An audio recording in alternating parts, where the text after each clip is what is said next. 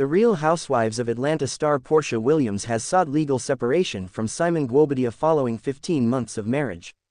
Welcome viewers to my channel, please subscribe, like my video and turn on notifications so you don't miss our next update.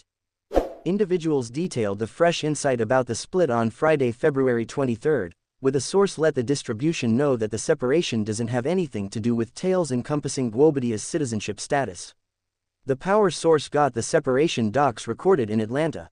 The separation news comes days after the Atlanta Dark Star distributed a report on Thursday, February 22, guaranteeing that Nigeria conceived Guobadia, 59, has been over and over denied residency in the U.S.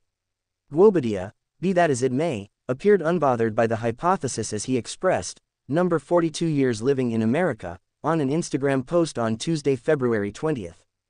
While Williams hasn't spoken openly about the parted, Guobadia is as yet her keep-going name on Instagram and photographs with her alienated spouse still can't seem to be eliminated. Williams's separation recording likewise comes over multi-week after it was reported that she was set to get back to RHOA for season 16 as a feature of a generally prearranged Ability Manage NBC Universal. I'm unimaginably grateful for the vision and confidence NBC Universal has placed in me to be a bigger piece of their family, she partook in an explanation on February 13, her cutoff time. I'm anticipating being back on, The Genuine Housewives of Atlanta, and showing the world my new world. Who said that? Porsha Williams returning to Genuine Housewives of Atlanta. She said, that is misleading, yet Porsha Guobadia is in the structure. See ya. After 10 groundbreaking, satisfying, inconceivable years, it is at last opportunity to start my next part. Next season, I won't be getting back to the genuine housewives of Atlanta establishment, Williams reported through Instagram in September of that year.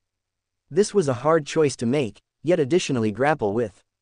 It's one I have placed a ton of thought into and hence, I know it's the right one. Williams's commitment to Guobadia was thusly chronicled on Bravo's fleeting series Porsha's Family Matters, which just broadcasted for one season in 2021.